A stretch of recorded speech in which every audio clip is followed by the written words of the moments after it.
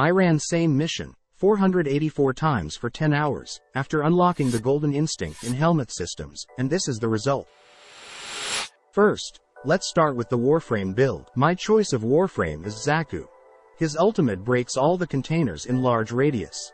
Because of that I was getting extra loot and Ayatan stars on completing the run with statue or rare container in it.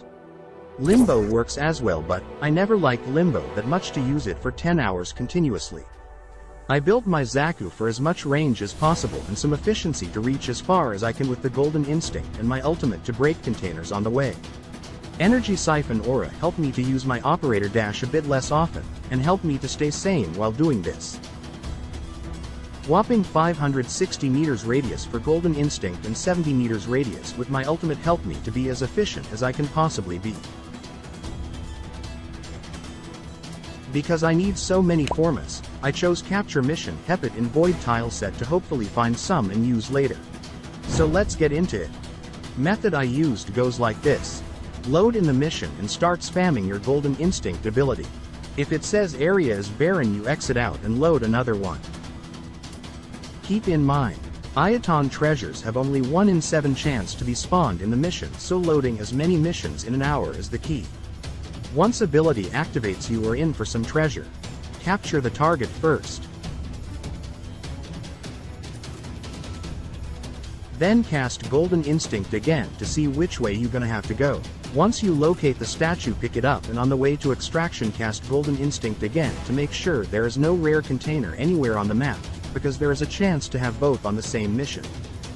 If ability says that area is barren, you are safe to extract. If not, you go look for the sweet forma container. When you close to them they make humming sound which makes it easier to find if you are lost. Here is the example of getting both, statue and forma. That's all for the method. As title says I spent 10 hours doing this and managed to rack some statues and forma up. Here is some statistics. I loaded 484 missions, of which 90 activated Golden Instinct. 5 of them had both Forma and Ayatan Treasure. This is 18.6% rate to get a mission with one statue or rare container. Averages. Managed to do 48 runs an hour. Getting around 8 Ayatan treasures and one or two forma. Lucky? I don't know let me know in the comments. Let's get to the spicy stuff. I got an 81 Ayatan treasure and 14 forma in 10 hours.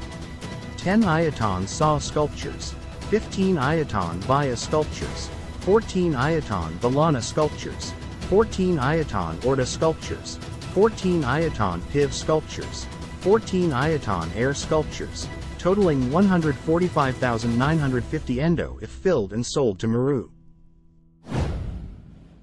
It is tiring stuff guys. Many empty missions. Never give up on the grind. But is it worth it in the end?